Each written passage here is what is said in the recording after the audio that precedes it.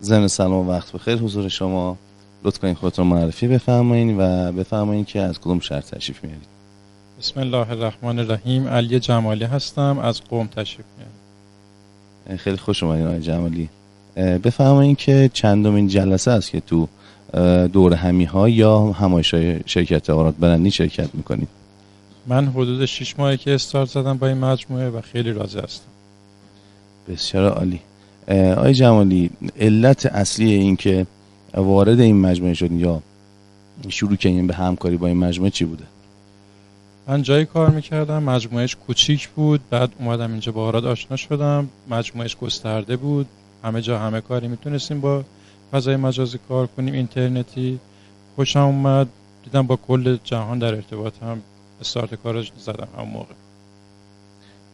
تو صحبتتون اشاره کردین که آشنا شدین با آراد.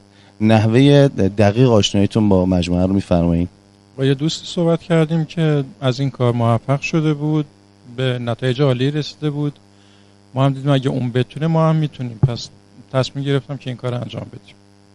بسیار عالی. آقای جمالی بفرمایید که توی مدتی که با مجموعه آشنا شدین و تشریف میارین شرکت قطعا با مشاورین یا خود اساتید چه حضوری و یا چه تلفنی صحبت کردین؟ بازخوردتون از این صحبت ها یا مشاوره چی بوده؟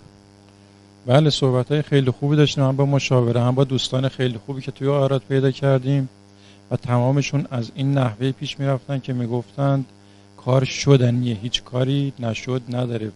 باید تلاش خوبی در این کار داشته باشیم و تمرکز داشته باشیم. همش مثبت فکر می‌کردم. بسیار عالی. در آخر اگر نظر خاصی دارین لطف کنین بفرمایید.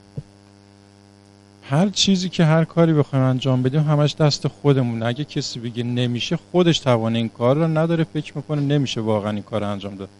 ولی افراد یا ما دیدیم توی این مجموعه که دارن کار می‌کنن با هیچ درآمد خیلی خوبی در به دست آوردن. و براشون آرزوی سلامتی یا شادی می‌کنم. هم اساتید هم مجموعه آراد. بسیار عالی. ممنون از اینکه وقتتون در اختیار ما قرار دادین. انشاءالله که موفق و پیروز باشین.